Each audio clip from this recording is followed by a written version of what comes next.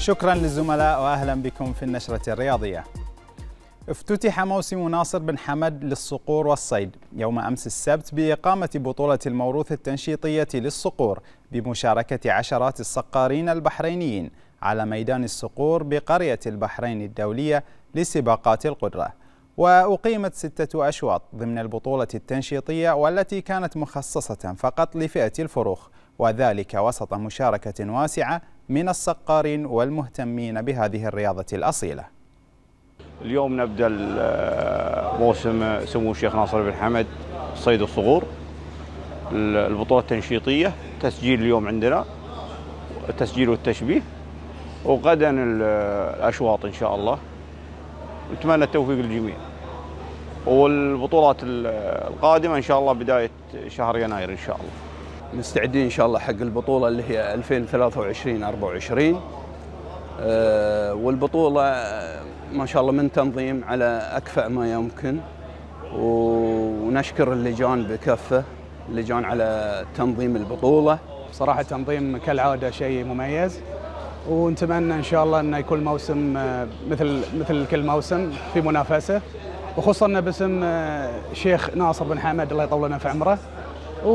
ونتمنى التوفيق لجميع المشاركين. هالموسم ما شاء الله بالنسبة لنا إحنا كصقارين يعني هذا هو يكون عيد حق جميع الصقارين وإحنا ننتظر هذه الموسم بفارغ الصبر عشان نشوف استعداداتنا وشنو سوينا شنو ما سوينا هل الطيور تكون جاهزية فيها جاهزية ولا تحتاج ان نعدل عليها شوي على مساراتها ولا عجين وإحنا ما شاء الله كل سنة نستعد حق هالموسم من اول من أول ما تنزل التواريخ كلها ونكون إن شاء الله على استعداد ونطمح دائما كوننا كجميع الصقارين حق المراكز الأولى بإذن الله إن شاء الله. سجلت منظمة بريف البحرينية لفنون القتال المختلطة للمحترفين رقما عالميا جديدا بوصولها للمحطة العالمية الثلاثين من خلال إقامة النسخة الخامسة والسبعين لهذا الحدث في مدينة تينيريف الإسبانية والتي نظمتها المنظمة بالتعاون مع الشركة الإسبانية الرائدة في مجال الترويج فايت توان ويعتبر النزال الذي جمع بين المقاتلين أكوياند دوكي ودوفاند ديسماي هو الأبرز في هذه النسخة من البطولة حيث نجح المقاتل دوكي من تحقيق فوز مستحق وفي مسقط رأسه على حساب ديسماي بالضربة القاضية. أعلنت اللجنة المنظمة العليا لدوري الجامعات 2023-2024 عن الموعد الفعلي لانطلاق دوري الجامعات في نسخته الخامسة وذلك في المؤتمر الصحفي الذي عقد يوم أمس السبت بالجامعة العربية المفتوحة. وستكون انطلاقة الدوري بمنافسات الكرة الطائرة في الخامس والعشرين من نوفمبر الجاري على أن تنطلق منافسات كرة القدم في الثامن والعشرين من الشهر ذاته. فيما ستنطلق منافسات كرة السلة في الثاني من ديسمبر المقبل وخلال المؤتمر الصحفي تم تدشين الهوية الجديدة للدوري والذي وصل لنسخته الخامسة هذا العام في خلال خلينا نقول ال 70 80 سنة اللي فاتت بدأت الرياضة تنتقل إلى أن أساس الرياضة أصبح في المدارس وأصبح في الجامعات. إذا نشوف النسخ النسخ في الأولمبياد آخر مثلا ستة أو سبعة أولمبياد بنشوف إن أكثر من 90% من الميداليات المتحصلة في الأولمبياد هي من قبل طلبة جامعات. وما كان هذا الشيء موجود قبل هذا الشيء كان قبل من طلب من من رياضيين الأندية. ولكن الآن طلبة الجامعات في العالم هم اللي لهم النصيب الأكبر من الميداليات الأولمبية. فلذلك إحنا بالنسبة لنا في البحرين شنو إحنا بنشوف؟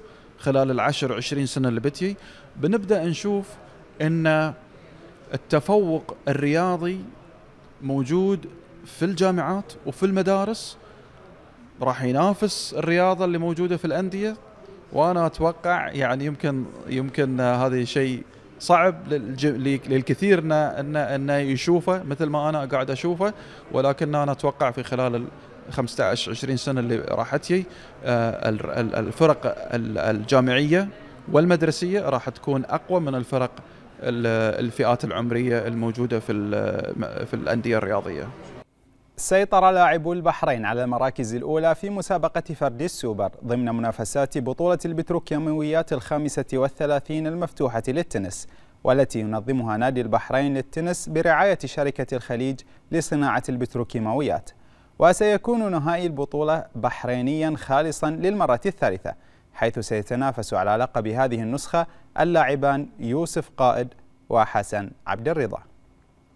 اعتلى اللاعب السعودي بندر اليابة صدارة الترتيب بمسابقة الشباب ببطولة المرحوم عبد الله بن أحمد ناس الثالثة للبولينج والتي ينظمها الاتحاد البحريني للبولينج حتى الخامس والعشرين من شهر نوفمبر الجاري.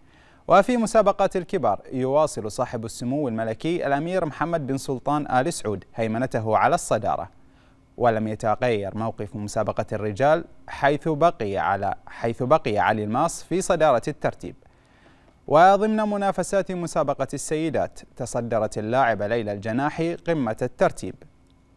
وأسفرت الجوائز اليومية لأعلى المحاولات عن فوز العماني غالب البوسعيدي بمسابقة الرجال. وفوز الكويتي خالد القعود بمسابقة الكبار وفوز اللاعبة سارة بمسابقة السيدات وفوز السعودي بندر اليابة بمسابقة الشباب.